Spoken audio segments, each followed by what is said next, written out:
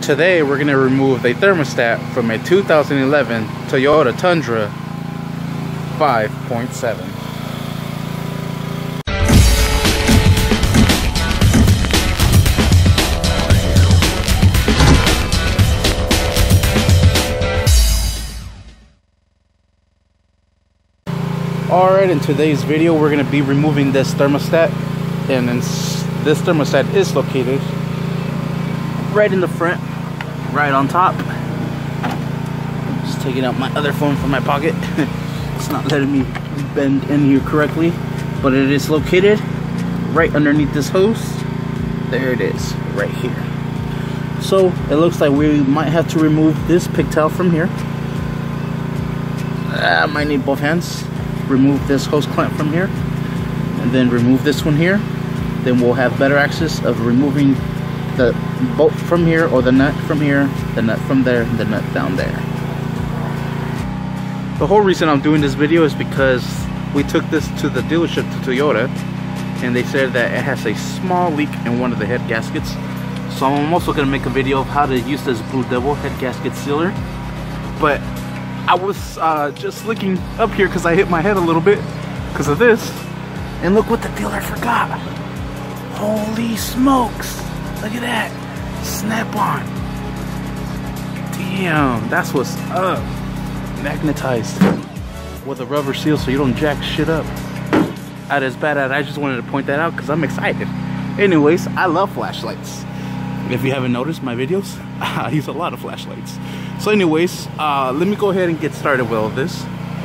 Alright, so I used these small channel lock pliers to be able to get this out because I guess I wasn't strong enough. So I'm gonna go ahead and use probably those same channel locks to get this here. This is kind of in the way. You could probably just pull this out a little bit, just like so. So you have a little bit more access to it. All right, I'm gonna use these channel locks to move this here. I really hope that's not a fuel line. We're gonna find out. It smells like gas or not. You know what? I suggest you put this back on.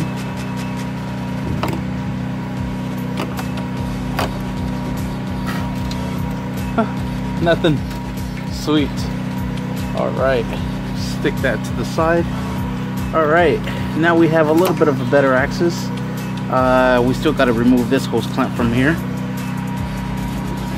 Grab my other flashlight to give us a little bit of more view. I love it because it just clips on to uh, my phone and thingamabob.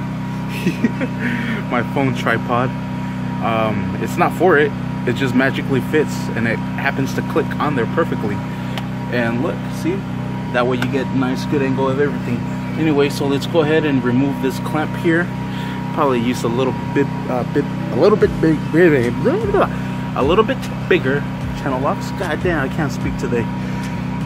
Uh, so let's go ahead and do that real quick.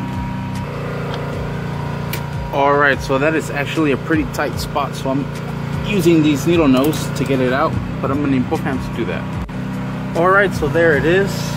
Now I'll have to get that hose out, but look, I even have the other flashlight helping me out already. Nice, right?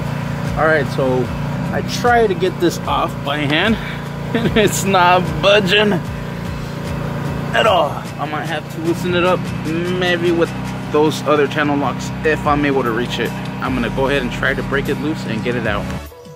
Alright, and there she is, almost out. Doing this wiggling it back and forth, and there she goes. There she goes.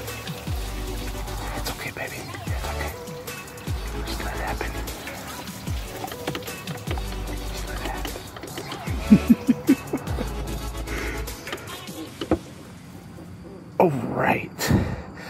Stick that hose down at the bottom. Now we have access to our bottom nut. One, two, and three. Perfect. So now let's go ahead and get these out. Ouch.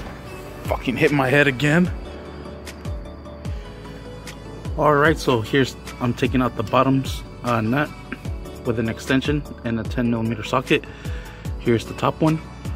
This back one here you might have to use a wrench because there's this hose in the way. So let me go ahead and break all three loose and get it out of there and we should be done. All right, for this last one that's right in here, I actually had to go to Harbor Freight because we didn't have any of these swivel ratchets. I just needed the ratchet, but the swivel hecka helps. Um, because I tried all kinds of stuff and I couldn't get it out. Anyways, tried the swivel, tried the other wrench, didn't work out. And this one works out perfectly because you're able to get it like so. So let me go ahead and finish unscrewing that and that should come right out. Alright, I'm not gonna lie, getting that last nut was a bitch. But here it is. Boom. Gasket stayed behind. Awesome. Sweet. And that is how you remove the thermostat. I climb through a chair to get up there. Use that for my niece. From a 2011 Toyota Tundra. That's how you remove that. Thank you for watching. Please like and subscribe.